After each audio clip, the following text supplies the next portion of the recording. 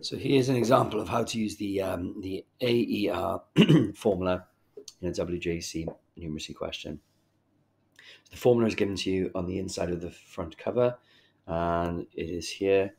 Uh, it's 1 plus the I, which is the nominal interest rate, divided by N, which is the number of compounding periods per year, minus 1.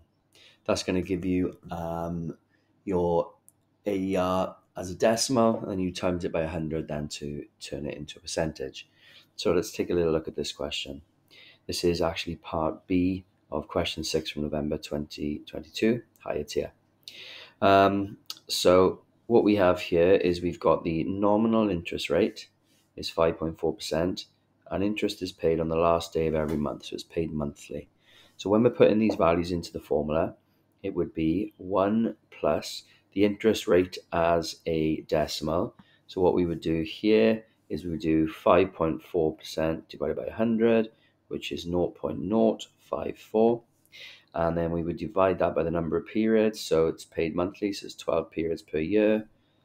The uh, n as the power would also be 12. It's always the same as the denominator of the fraction. And then it's minus 1.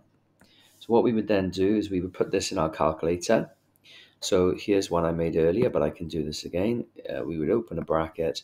It would be 1 plus fraction key, 0.054 over 12, right arrow, close bracket, power key, 12, right arrow, minus 1 equals, and if I just move that to one side, so we've got 0 0.05535 so let's jot that 0 0.05535.